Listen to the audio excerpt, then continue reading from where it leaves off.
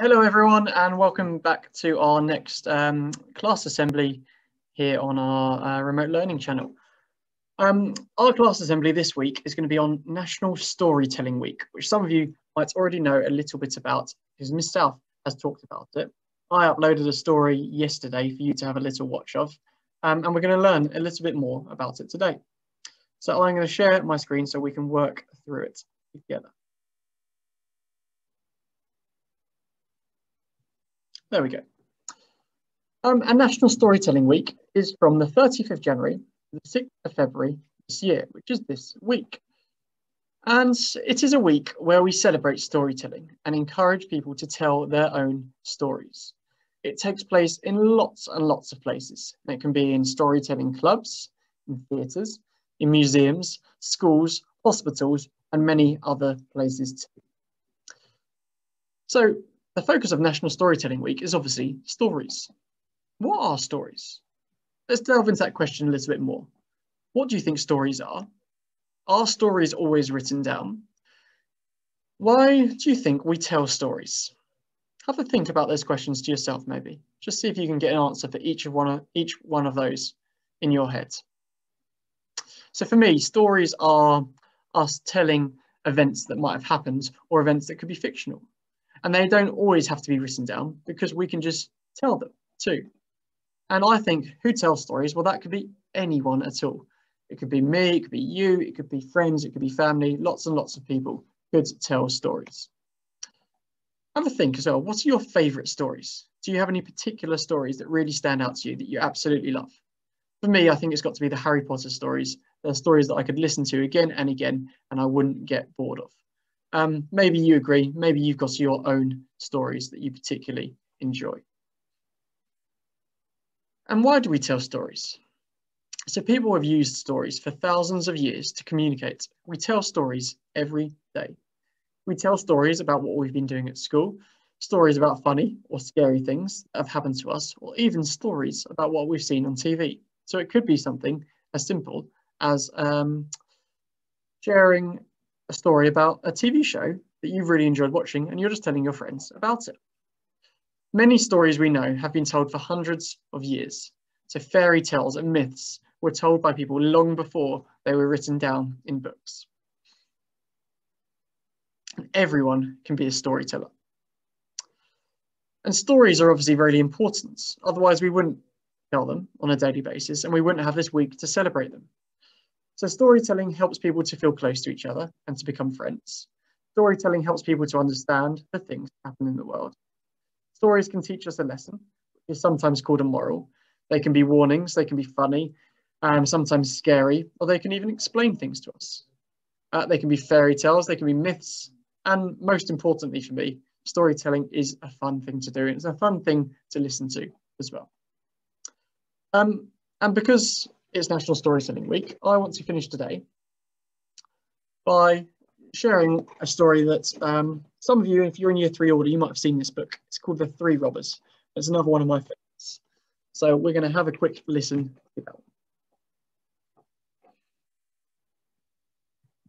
Once upon a time, there were three fierce robbers. They all went about hidden under large black capes and tall black hats. You can see the hats and you can see the capes just here.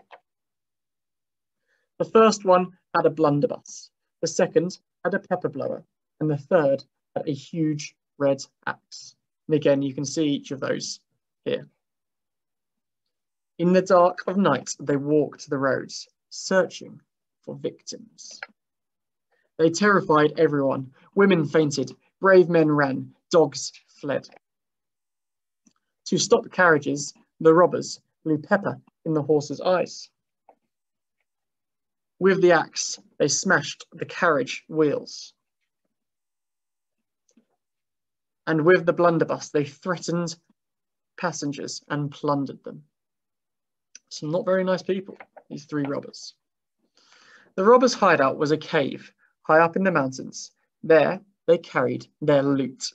Loot is another word for treasure, and you can see them carrying their treasure up to their hideouts. They had trunks and chests full of gold, jewels, money, watches, wedding rings, and precious stones. But one bitter black night, the robbers stopped a carriage that had one that had but one passenger, an orphan named Tiffany. She was on her way to live with her wicked aunt. Tiffany was delighted to meet the robbers.